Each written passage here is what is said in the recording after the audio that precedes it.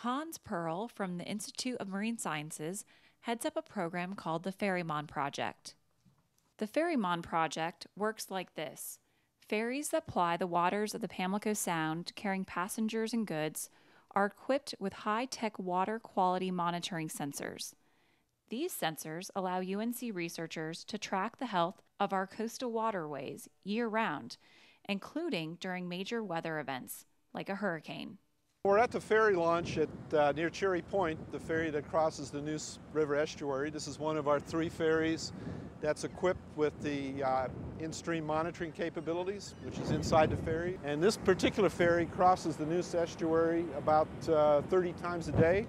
Each time the ferry crosses, it collects the standard water quality data that the state needs and that we also need for research.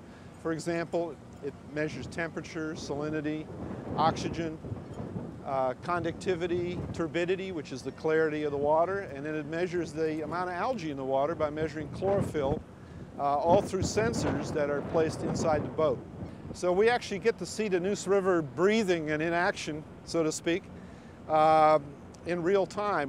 Uh, you know, everybody's off the water during the hurricane, but the ferries, they really don't leave their posts here up until about 12 hours before a hurricane hits. So we're collecting data up to 12 hours before the hurricane strikes, and then they're usually the first thing back on the water because of the needs for transportation.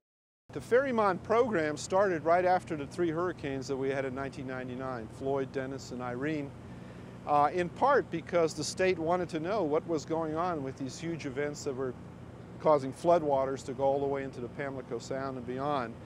And in the case of Floyd, people couldn't come down from Raleigh from Diener to, to sample because the coastal plain was flooded. So the ferries were out here though doing their thing and the equipment worked flawlessly and, and uh, we've been collecting data since then. The big advantage of course of using ferries is that they're free. They're already out here uh, taking passengers and cars across the Neuse and Pamlico Sound.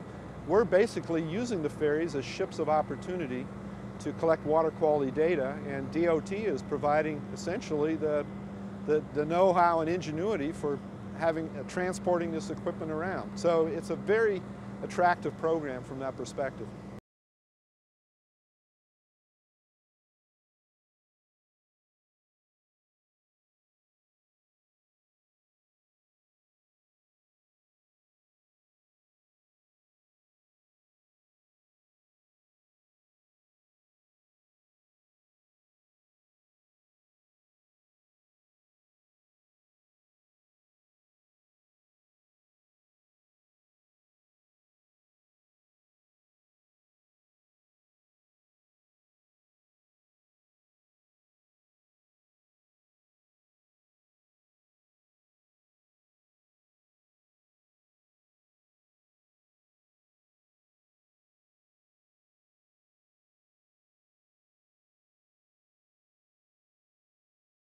Hans Paerl, also from the UNC Institute of Marine Sciences, heads up a program called the Ferrymon Project.